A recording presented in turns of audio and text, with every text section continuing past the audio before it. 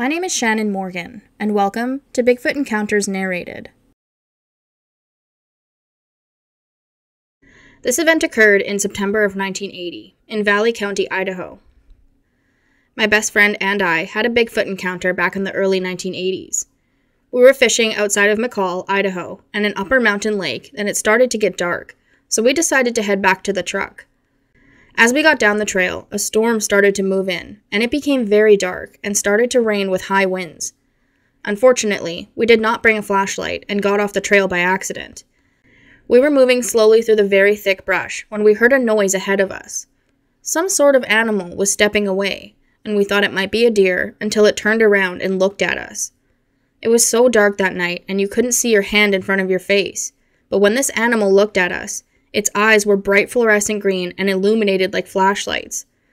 We could tell we were in a large flat area, and these bright green eyes were taller than us, seven to eight feet off the ground.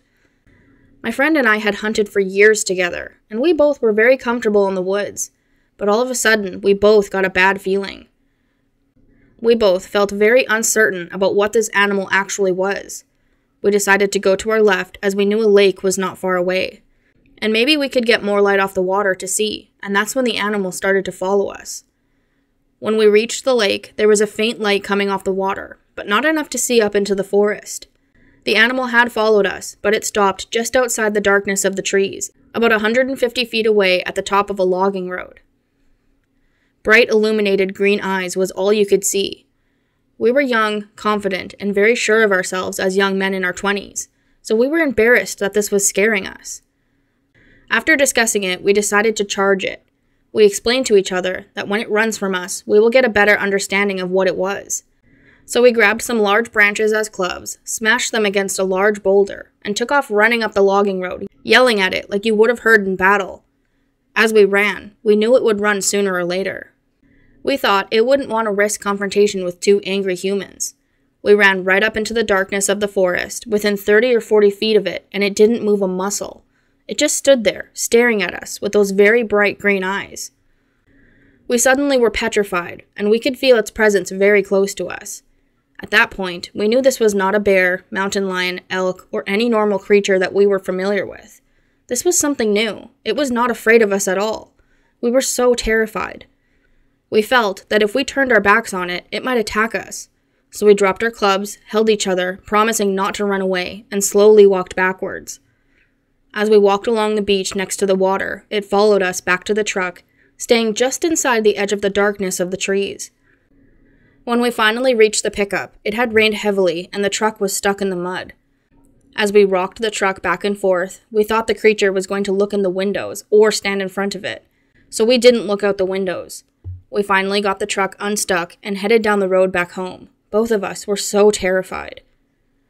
We didn't speak to anyone about it for several years, thinking no one would believe us. Here's where the story gets unbelievable. About 10 years later, when I felt comfortable talking about it, I told a friend of mine that had a ranch about five miles from where the encounter happened.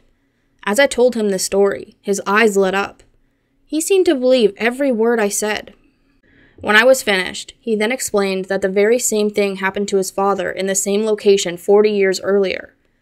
His father and his uncle were checking trap lines in the mountains when they were young boys and got caught in a storm and it was very dark. As they got off the trail, they came across a very large log laying on the ground and decided to walk down it to get through some heavy brush. As they walked down the log together, just as they were going to climb down, the log lifted them both up in the air. They looked back, and a very large black hairy creature with very bright green eyes had stepped on the log behind them. They were so terrified, they dropped their traps and ran several miles back to the ranch, soaking wet and scared to death. Until that day, I couldn't believe what happened to my friend and I that dark fall evening. But when I heard my ranch friend tell me about his father's experience, I knew what happened to us was for real. If you have an encounter you'd like to share or have narrated, email me at bigfootencountersnarrated at gmail.com. I look forward to hearing from you. Thank you so much for listening.